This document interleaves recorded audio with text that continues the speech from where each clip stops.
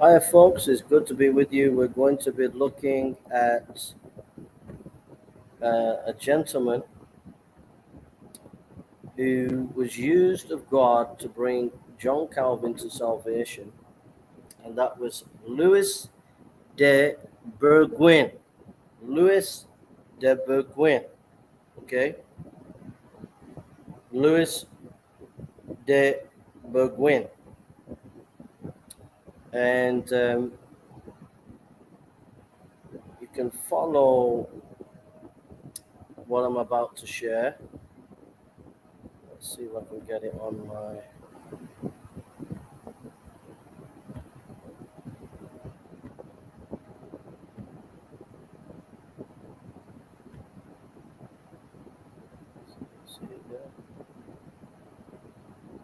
That's a document there, and we'll read. Okay.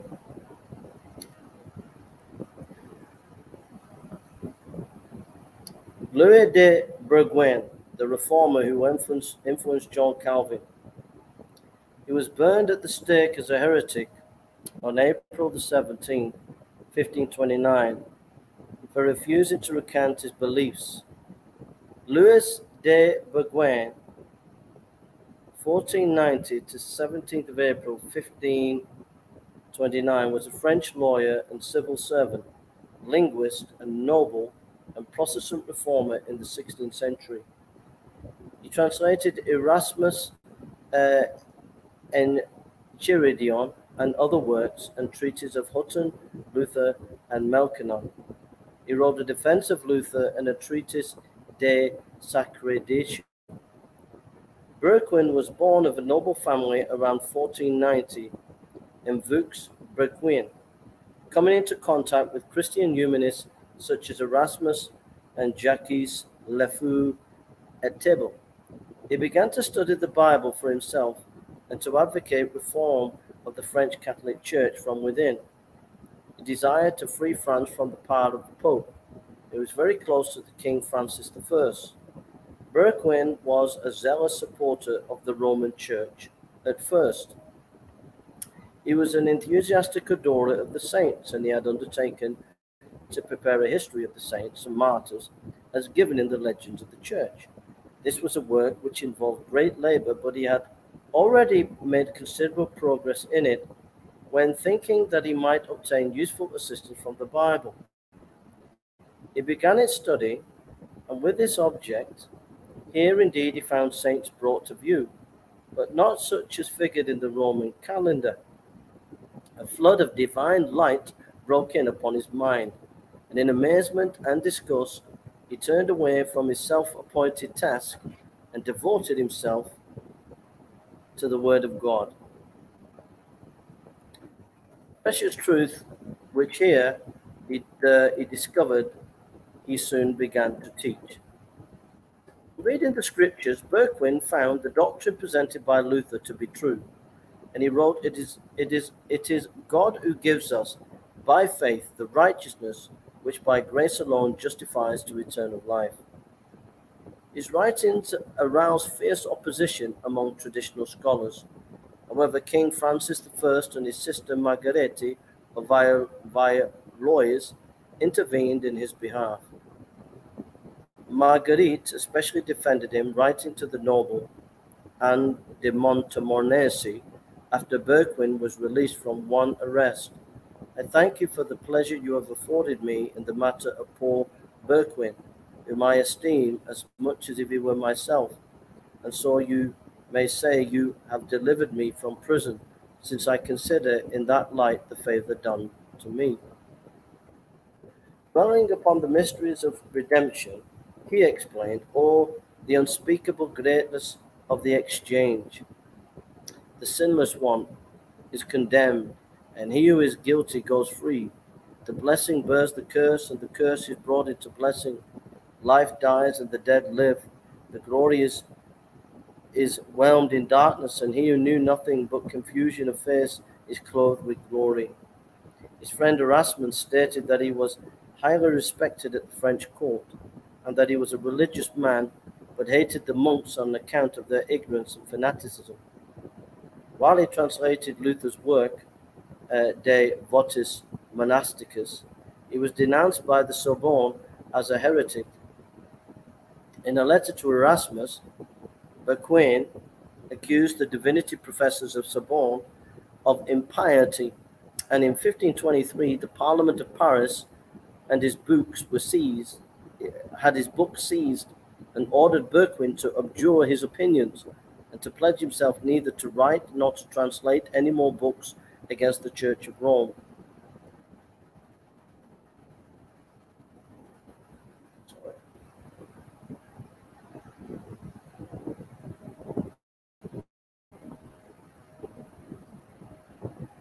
At his book sees an order Berquin to abjure his opinions and to pledge himself neither to write nor to translate any books against the Church of Rome. On his refusal, he was sent before the ecclesiastical tribunal of the diocese. Francis I, Francis I liberated him from prison and submitted his case to the chancellor of his council, who demanded of Berquin the abjuration of some heretical opinions, opinions which the later complied. In 1525, two councillors of the court of Rome denounced him as having relapsed into heresy, but he was again set free again by the, in, the interposition of Francis I.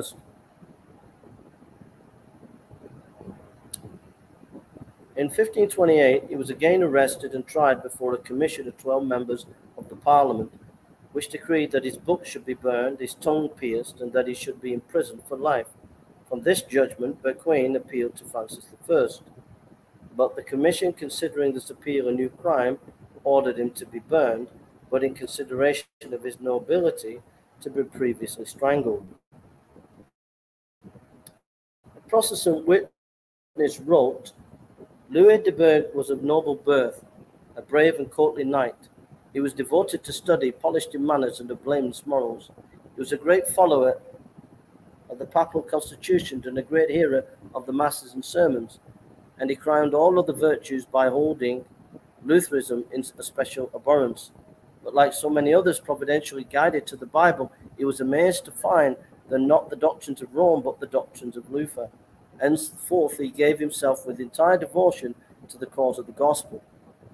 Louis de, de Berquin, who had treated Lutheranism with abhorrence, was considered by many in France to be a reformer even more powerful than Luther. If Berquin had been supported by Francis I, as Luther had been protected by the elector, Berquin would have had much more impact on Europe than Luther, but this was not to be the case. Instead of being protected, Berquin was imprisoned by the papal authorities. Erasmus tried to persuade Berquin to go into exile to protect himself but the Queen decided to meet error head on to show that Rome had been misleading the people and that they did not agree with the truths found in the Bible. The Queen challenged the Roman scholars at Paris University to prove their doctrinal position by the Bible, and the scholars knew that they would be proved false and were not prepared to lose face. So these scholars looked for a, a way of escape. As with Luther, the Roman authorities blamed those in the Reformation for any civil unrest. The statue of, of Virgin Mary had been vandalized in Paris, and the authorities claimed that it was Berquin's encouragement and influence that incited vandalism. The scholars blamed both Berquin and the Lutheran teaching for encouraging such lawlessness. On the 16th of April, 1529, the French Parliament condemned him to watch as his books were burned, to have his tongue pierced, and then to be imprisoned without reading material for life. When Berquin refused, even by silence, to condone the condemnation of the truth, he was returned to prison. The next day, 17th of April, 1529, on the basis of accusations, Berquin was ordered to be killed. Berquin was both strangled and burnt, being made an example of what was to happen to those who did not uphold the teaching of the Roman Church. All his original works are lost, only a few of his Erasmus translations remain. If the Roman Church had thought that silencing Berquin, such an influential person in the French society, was going to send a message that no one is protected, even if a prominent member of society, from the wrath of the church, they totally misunderstood, they totally underestimated the outcome of their actions. Instead of discouraging the efforts of the reformers, it spurred them on with new vigor, spreading the word of God further afield. Lefebvre went to Germany. Farel went to his hometown to spread the good news of the gospel. Even though Farel met with opposition from the authorities, he went from house to house preaching the gospel privately. The actions of the Roman Church against such a well noble, such a well-known nobleman of France as Berquin sent shockwaves around Europe, magnifying the fervor and commitment that a person of his substance exhibited despite all that he had to lose by taking the course of action. Demonstrated how much more important what he stood for was than all the wealth and power that he had in his hands in social terms. Such a large sacrifice made, pe- made people take note in a much closer interest why Berquin was prepared to give up so much for a belief, an ideology. Calvin was such a man swayed by this event. Calvin was the academic pride of his college. Hearing about the reformers and their heretical views, Calvin decided he wanted nothing to do with their heretical opinions. However, this event made Calvin interested to listen to a cousin who, had a, who, as a result of this event, joined the reformers. Cousin pled with Calvin to accept Jesus as Savior, but it was because of Berquin's testimony that persuaded Calvin. It was not until Calvin personally witnessed the peace and the serenity of a so called heretic being burned at the stake that he realized that there must be something worthwhile in the scripture for people such as Bequin and others to give up their lives for it. Calvin knew that it was upon the Bible that the heretics based their faith. He therefore studied the Bible to see if he could vindicate the Roman Church position. And in studying the Bible, Calvin made a discovery of his life whether dead or alive, Berquin was a testament to the worth and power of the gospel. It made men and women around Europe realize the importance of the gospel and the word of God.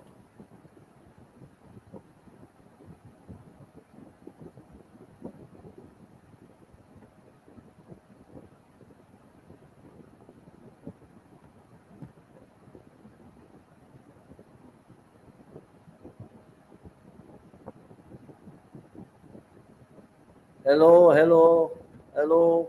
God bless you all. Ryan, Jerry. Chat with a Greek name. so there's the story. So there's the story, folks. What an amazing story. What an amazing guy. What an amazing guy. There's our website if people want to go on. That's a picture of him there. You can see there at the back of me. That's the guy we're talking about. And that's the guy who influenced John Calvin to come to the Lord. When Calvin saw this guy being burnt at the stake, it made Calvin go to his Bible and it made Calvin listen to his cousin about salvation. What a story. I feel like crying. There are pictures of this guy, so let me get some pictures.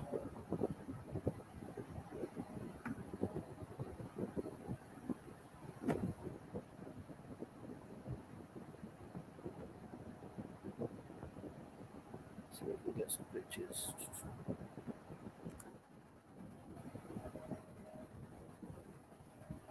For those who don't know, David's son, David Wood's son has passed away. For those who, who, who don't know, keep them in prayer.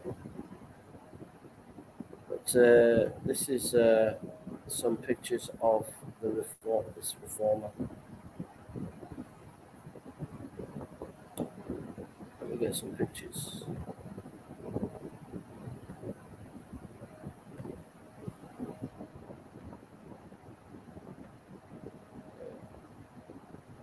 So here it is. Some of the pictures there.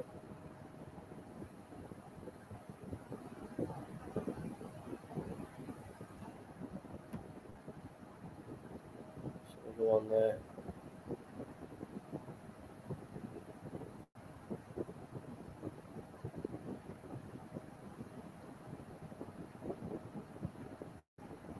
There's another one there.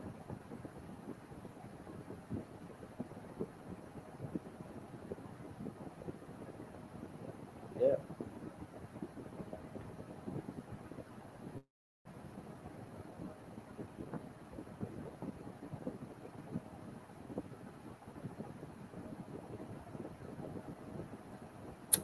So I hope that was a blessing to you. I hope that that story was a blessing to you, and um, it's inspired me to encourage preaching the gospel. So this this guy had everything. He had wealth, he had power, he, he, he had everything, but he gave it up for the gospel. They hounded him, they persecuted him, and in the end, the king, not even the king or the queen could save him. you know, not even the king or queen could save him. So I'm going to go. I hope that's uh, been a blessing to you. I hope it's been an encouragement to you and inspired you. Please pray for me and my wife as we do mission in Ghana. That's our website. And if you want to support us, you can do that at the website. So God bless you, folks, and keep us in prayer. Amen. Amen. So God really moved through this chap. He really used this chap as martyrdom. I, I wrote a booklet. Um, it's called Exposing the Prosperity Preachers. I've had it printed here. I had a thousand copies printed, so I'll be distributing this amongst the Ghanaians. Pray that God would use it to expose a lot of these false prophet pastors here in Ghana. Uh, so pray that uh, it's a leaflet that will be used of God to bring a reformation in Ghana where there's a true preaching of the word of God. So God bless you. Love to you all out there. May God be with you. And uh, let's pray. So come to the end.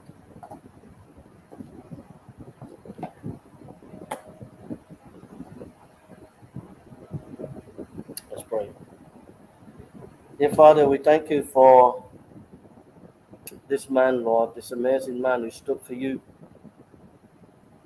And he laid down his life for the gospel.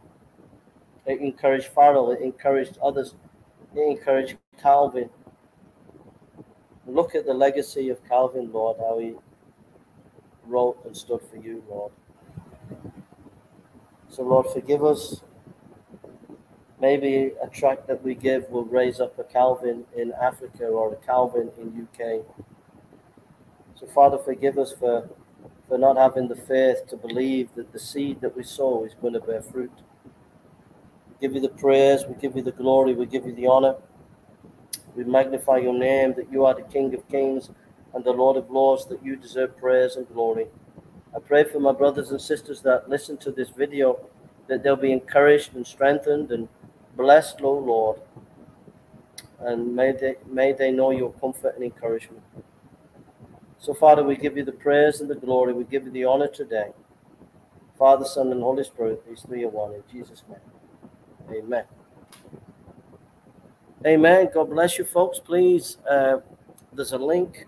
I think there's a link, a little bit of story, and a link under the video. So please uh, find out more about uh, the chat. And may may it encourage you. May it encourage you. Yeah. Uh, thank you, sister. Yeah. So God bless you. Have a good evening. Have a good evening. And uh, God bless you. Take care. I'll see you, God willing, tomorrow. Um, if I'm preaching uh, on the streets or doing evangelism, I'll film it so you can see it. And uh, God bless you. Take care.